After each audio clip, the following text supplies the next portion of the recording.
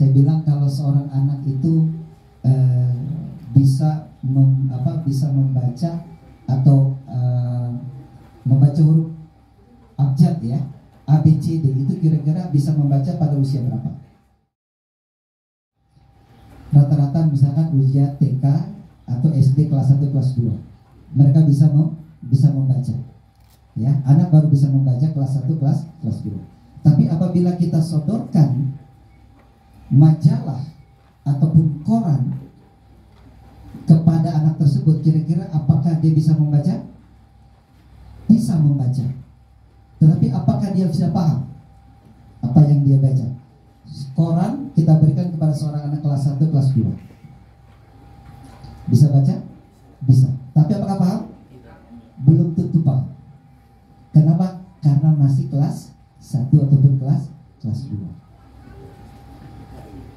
saya menyampaikan kepada guru-guru bahwa kalau seandainya ada seorang dalam mengenai masalah Al-Quran dia bisa membaca Al-Quran? Bisa. Tapi begitu kita tanyakan bagaimana isi Al-Quran tersebut apakah anda paham? Terhadap isi kandungan Al-Quran? Belum tentu paham. Berarti dalam hal ini Al-Quran. Kira-kira atau sekalian guru-guru saya katakan itu pada level apa?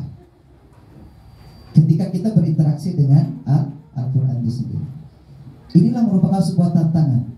Di mana Al-Quran sebagai petunjuk di mana Al-Quran sebagai referensi di mana Al-Quran dan hadis sebagai pegangan hidup kita yang betul-betul kita ingin jadikan dia sebagai panduan hidup kita yang kami ingin dekatkan mereka pertama mereka bersama Quran terlebih dahulu lalu kemudian mentadaburi Quran tadi. Mempelajari Al-Quran lebih jauh dengan cara belajar mereka